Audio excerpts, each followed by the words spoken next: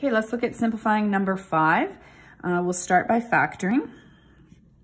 So now 2 minus x doesn't factor, but what I like to do is write it in more descending order. We're used to seeing the x variable first. So I'm just going to rewrite this as negative x first plus 2.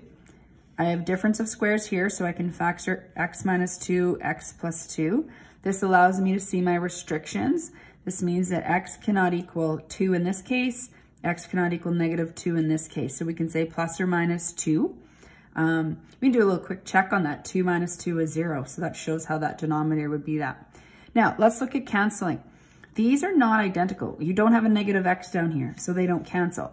However, what we're going to do when you have a situation like this is we're going to factor out a negative 1. We typically don't want that first term, that we call that the leading coefficient, to be negative. So we're going to factor out a negative 1, which leaves us with positive x now minus 2.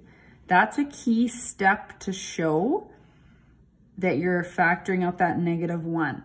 You can jump from 2 minus x and recognize I'm going to factor out the negative 1 and change the signs and, and write it in the correct order here, but make sure you factor out that negative 1.